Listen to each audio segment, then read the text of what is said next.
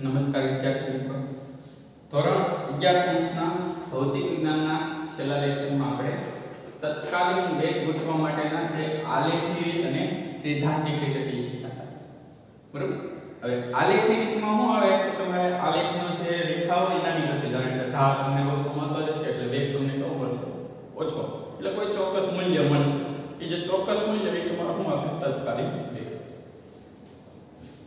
સૈદ્ધાંતિક મૂલ્યમાં શું કીધું તો પેલો જે સમયગાળો ડેલ્ટા ટી છે એ ઘટાડે તો પહેલા 2 સેકન્ડ લીધો પછી 1 સેકન્ડ પછી અડધી સેકન્ડ પછી 0.1 સેકન્ડ ને છેલ્લે 0.01 સેકન્ડ તો એક ચોક્કસ જે મૂલ્ય આપણે 3.84 લગભગ મળ્યું હતું હા 3.84 મીટર પ્રતિ સેકન્ડ તો એ તમને શું મળે 4 સેકન્ડે તત્કાલીન વેગ હવે જુદી જુદી સમયગાળા માટે તત્કાલીન વેગ છે એનો આલેખ દોરો વેગ વિરુદ્ધ સમયનો આલેખ તો એનો બુકમાં એને આપેલો છે આવી રીતના આલેખ આપેલો છે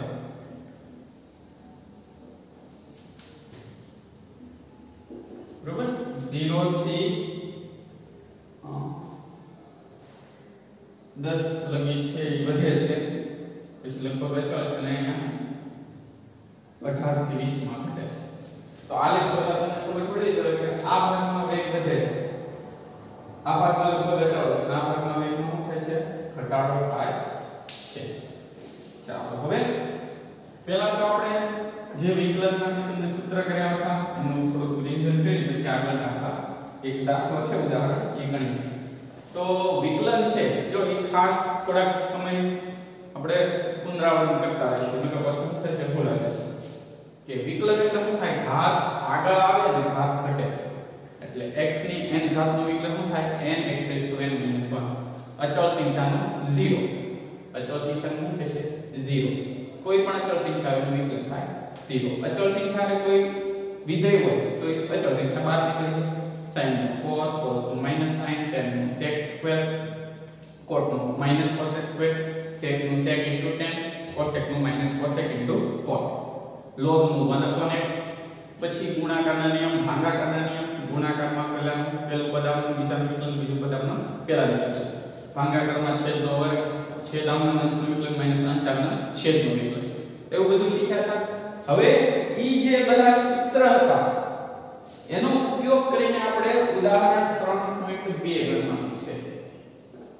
કયું ગણવાનું છે? ઉદાહરણ 3.2 એટલે કે બીજું ઉદાહરણ ચેપ્ટર 3 હવે એમાં એવું કીધું છે કે x અક્ષને અનુલક્ષીને ગતિ કરતા એક પદાર્થનું સ્થાન, x a bt સ્ક્વેર વડે દર્શાવેલું છે એટલે કણના સ્થાનનું સૂત્ર આપેલું છે x બરાબર a bt સ્ક્વેર તો જ્યાં a બરાબર 8.5 અને b બરાબર 2.5 છે તો t નું મૂલ્ય સેકન્ડમાં છે a બરાબર 8.5 અને b બરાબર 2.5 તો તેથી x બરાબર શું થશે 8.5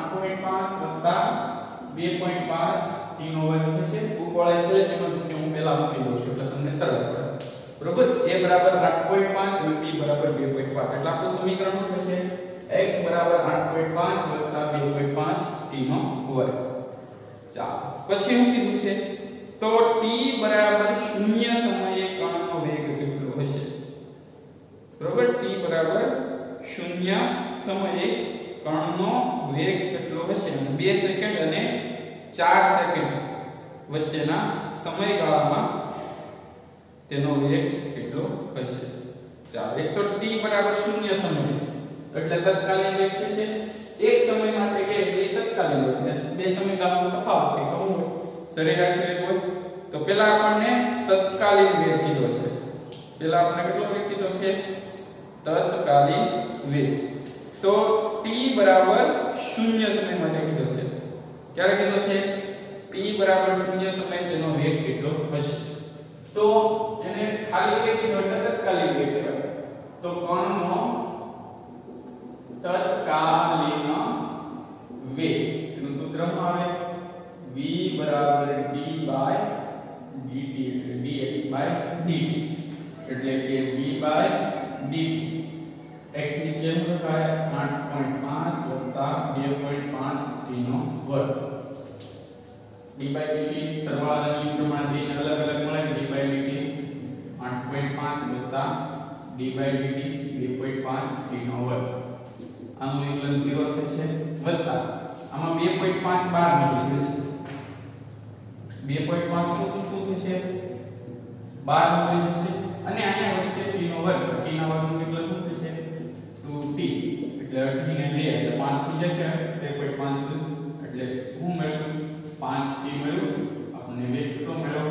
5t ચાલો હવે એની સિવાય t બરાબર 0 સમય કીધેલું છે તો હવે t બરાબર 0 સમયે તત્કાલીન વેગ આ સૂત્ર મળ્યું તો v બરાબર 5 ગુણ્યા 0 એટલે v બરાબર શું હશે 0 મીટર પ્રતિ સેકન્ડ આ જે સૂત્ર મળ્યું એ એનું મળ્યું t સમયે વેગનું સૂત્ર આ જે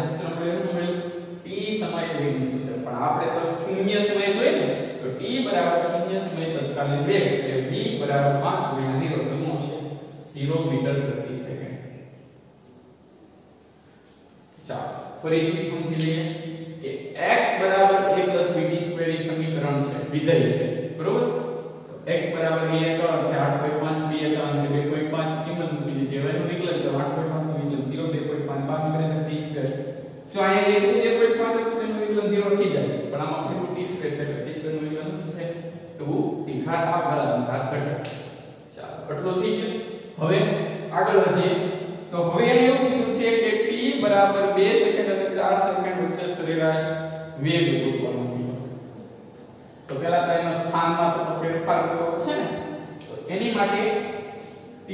બરાબર 2 સેકન્ડ અથવા તો સમય સ્થાન ગણીએ બે વાર આપણે સ્થાન ગણી નાખીએ તો t બરાબર 2 સેકન્ડ સ્થાન x1 બરાબર શું થશે a એટલે કે 8.5 વત્તા 2.5 ગુણ્યા 2 નો વર્ગ એટલે 8.5 વત્તા 2 નો વર્ગ 4 4 ગુણ્યા 8 એટલે 10 એટલે આવે 18.5 મીટર એવી રીતના t બરાબર 4 સેકન્ડે સ્થાન ગણી લઈએ તો x2 બરાબર 8.5 વત્તા 2.5 ગુણ્યા 4 નો વર્ગ એટલે 8.5 વત્તા 4 નો વર્ગ કેટલો થશે 16 16 ગુણ્યા 2.5 કરીએ એટલે 40 થશે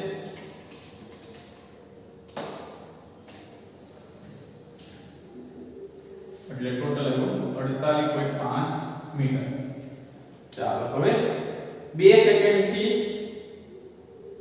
4 સેકન્ડ વચ્ચે સરેરાશ વેગ ગણવાનો છે તો સરેરાશ વેગ બરાબર x2 x1 છેદમાં t2 t1 એટલે બધા ડેલ્ટા x ને ડેલ્ટા t લખાશે તો ડેલ્ટા x શું થશે 48.5 18.5 છેદમાં t2 4 2 18 એટલે 30 થઈ ગયા 2 એટલે કેટલો આવે 15 મીટર પ્રતિ સેકન્ડ કેટલો વેગ મળ્યો 15 મીટર પ્રતિ સેકન્ડ જો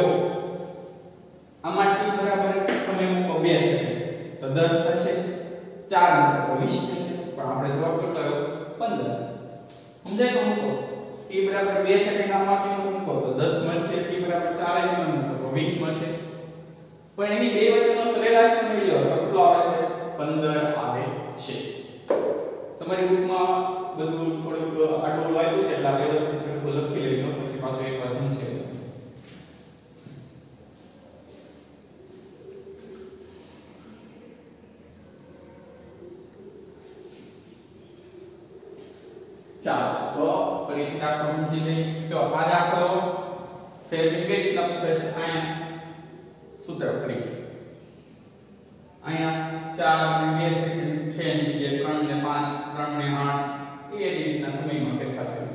રીતમાં કઈ ફેરફાર નહીં થાય એટલું યાદ રાખજો કિંમતમાં ફેરફાર થાય રીતમાં ફેરફાર થશે નહીં તો દસમાં તમારે બેઠા દાખલા આવશે તો કે આ વખતે દસમાં મેં તમારા દાખલાની કિંમતમાં ફેરફાર થઈ ગયા એટલે ખાસ આપણે પણ આમાં રીતમાં ફેરફાર ન થાય કિંમતમાં ફેરફાર થશે તો એવું કીધું છે કે સ્થાનનું સૂત્ર x a bt2 છે તો x 8.5 2.5 t સ્ક્વેર થશે તત્કાલીન વેગ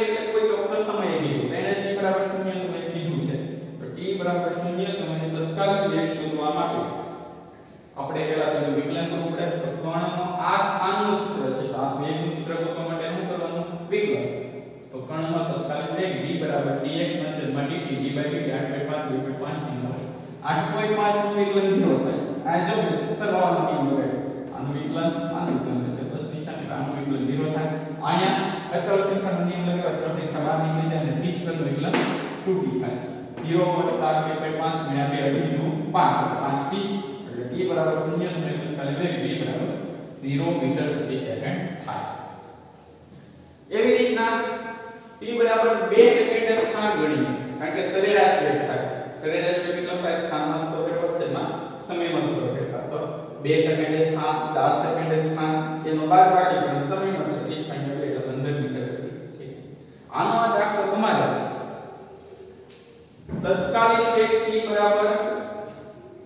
તો ક્યાં પરથી મળી જશે ડાયરેક્ટ t બરાબર 3 સેકન્ડ મૂકી દેજો એટલે મળી જશે પણ સરેરાશ વેગ છે, ઈ તમારે t બરાબર 2 સેકન્ડથી t બરાબર 5 સેકન્ડ માટે ગણવાનું છે. એટલે આ 2 સેકન્ડ વાળો છે 5 સેકન્ડ વાળો થઈ જશે. એ પ્રમાણે વેગમાં શું થશે ફેરફાર થશે. બરોબર? ઈ તમારે હોમવર્કમાં ગણવાનું છે. આ એ ગણવાનું છે t ગણવાનું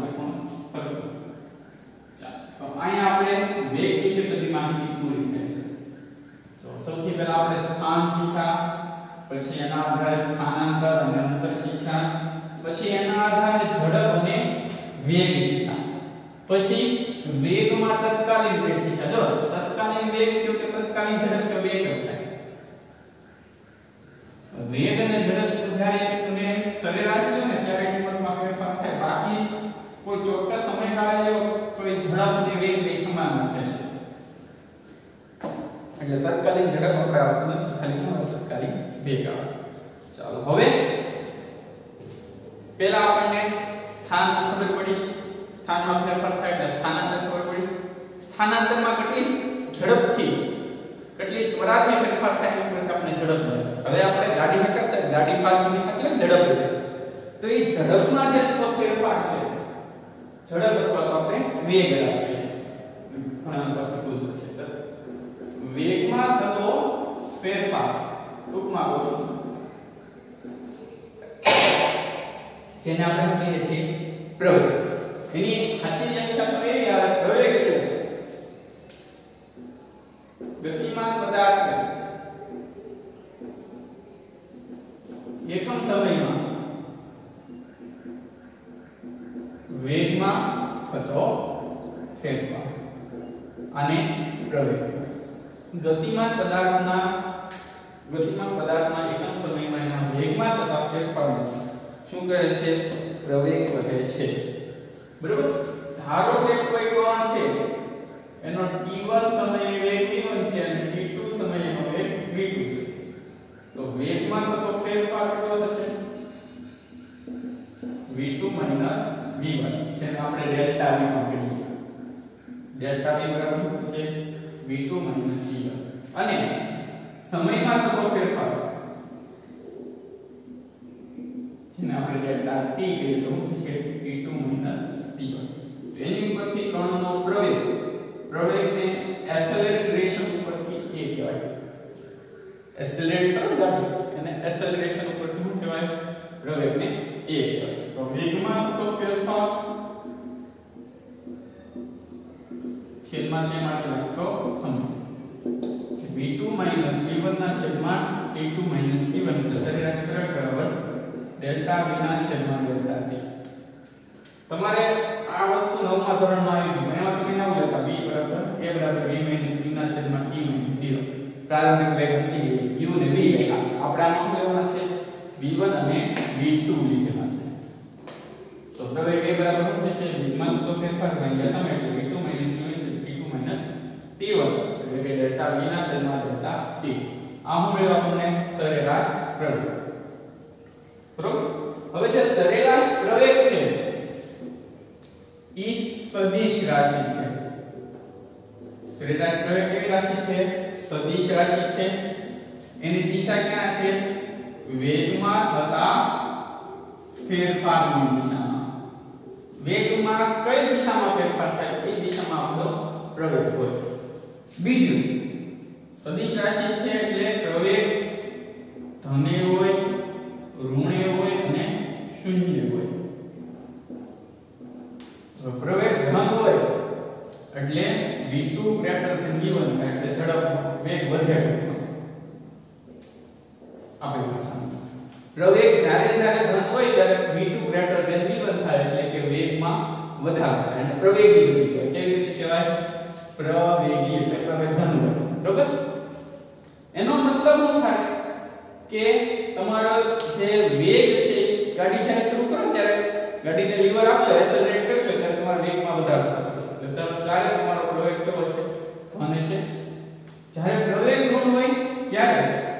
v2 less than v1 આ ધન માટે થાય છે. બરોબર?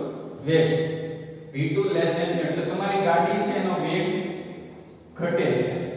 ત્યારે તમારા ગાડીનો વેગ શું થાય? ઘટે. જ્યારે તમે ગાડીને બ્રેક મારો ત્યાં પ્રવેગ વિરુદ્ધ દિશામાં. ગાડી આગળ જતી એટલે બળ વિરુદ્ધ લાગે. અને જ્યારે પ્રવેગ શૂન્ય હોય ત્યારે v2 બરાબર v1 હોય. એટલે તમારો વેગ અચળ છે. એને અચળ વેગ વિરુદ્ધ કહેવાય. જો આને કહી અને પ્રવેગી કહેવાય. આને પ્રતિપ્રવેગી કહેવાય પ્રતિપ્રવેગી એટલે વિરુદ્ધ અને આને કહેવાય અચળ વેગી આ બધું વેગ ધન હોય ત્યારે દેખા થાય છે વેગ ઋણ હોય ત્યારે દેખાય તો જો બે ધન ધન હોય a ને બી બે ધન હોય અથવા a ને બી બે ઋણ હોય ત્યારે વેગ વધે જો a ને બી ધન ઋણ ઋણ ધન ઊંધું હોય તો વેગમાં શું થતો હશે ઘટાડો થતો હશે એટલે જો બે એક દિશામાં હોય તો વધારો થતો હોય બે વિરુદ્ધ દિશામાં તો વેગમાં શું થાય ઘટાડો થતો હોય તો આ વાત થઈ તો આ બધું છે ને પ્રેક્ટિકલી સમજવા જેવું છે પ્રવેગ એટલે શું થાય કે ગાડીના વેગમાં થતો ફેરફાર હવે ગાડીના વેગમાં થતો ફેરફારનો મતલબ શું થાય કે જ્યારે તમે ગાડી શરૂ કરશો જ્યારે તમે ગાડી શું કરશો શરૂ કરશો ત્યારે સ્પીડ અને લીવર આપશો એટલે વેગ વધે એટલે પ્રવેગ ધન મળે એને પ્રવેગી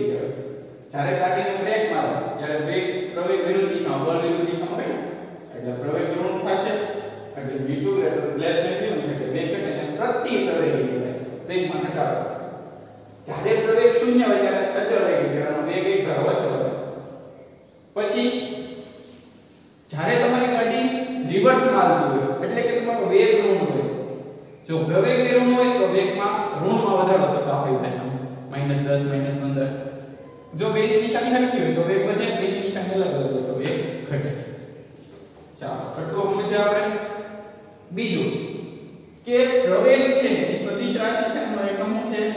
મીટર પ્રતિ સેકન્ડ સ્ક્વેર જો અંતરનો મીટર વેગનો મીટર પ્રતિ સેકન્ડ અને પ્રવેગનો મીટર પ્રતિ સેકન્ડ સ્ક્વેર રેડી કે મીટર મીટર પ્રતિ સેકન્ડ મીટર પ્રતિ સેકન્ડ સ્ક્વેર આની પરથી પારિમાણિક સૂત્ર ખબર હોવું જોઈએ m 0 l1 t 2 m એટલે દળ આવતું નથી અંતર એક વાર આવે છે અને સમય બે વાર આવે છે એટલે m0 l1 t 2 આ પરિસ્થિતિના આધારે પહેલા તો તમને ખબર પડી જોઈએ પ્રવેગી ગતિ કોને કહેવાય પ્રતિ પ્રવેગી ગતિ કોને કહેવાય વેગી ગતિ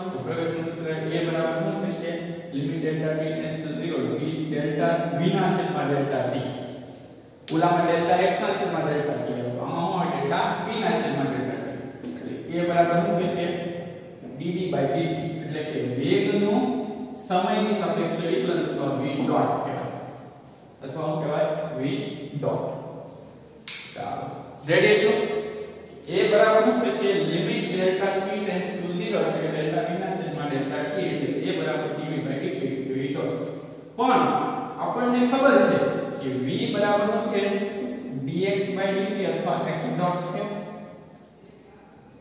v બરાબર શું છે dx dt અથવા x ડોટ છે એ આમ નામ d dt આમ નામ v ની જગ્યાએ શું લખાય dx dt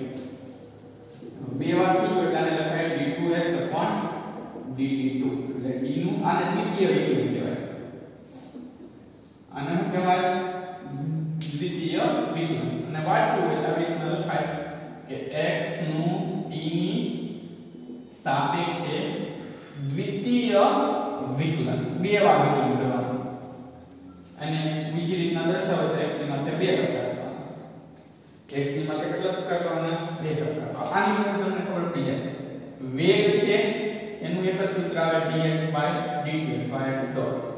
ફક્ત આ બધું લખો તમને વધારે ખબર પડે